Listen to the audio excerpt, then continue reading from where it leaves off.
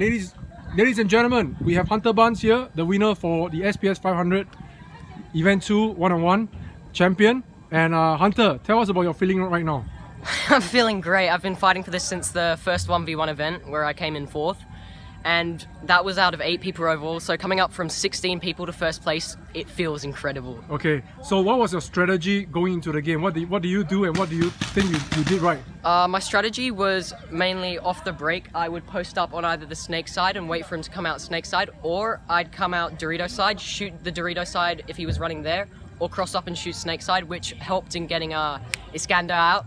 Okay, I'm Got really you. I'm really confused by your strategy. So Yeah. I, I think it must have worked for you. Okay. Crossing, crossing, Okay, just crossing. crossing up. All right. Now, uh, what was uh, the, your preparation going into this event? What do you do? Uh, my preparation was a lot of training with uh, Waza Dudu. I got to thank him a lot. Same to Vincent, who was helping me skirmish all the time. All the guys that come down Saturday, so Sheila, Sheila, Mek, uh, Khalid, Amshar, and Hazrul. Got to thank them all. Okay. Uh, congratulations once again. Who do you want to dedicate this win to?